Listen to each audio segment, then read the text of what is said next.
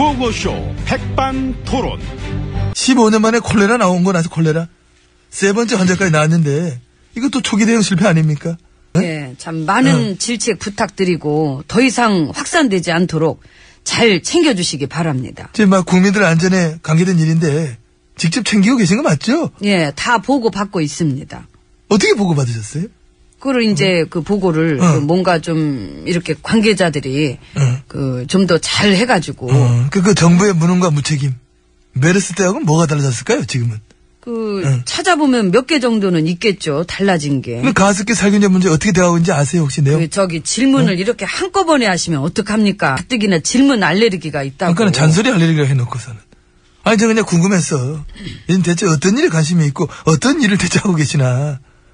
그 입은 안 궁금하세요? 입 궁금하죠, 입. 그럼 밥 먹으러 가야지요. 아,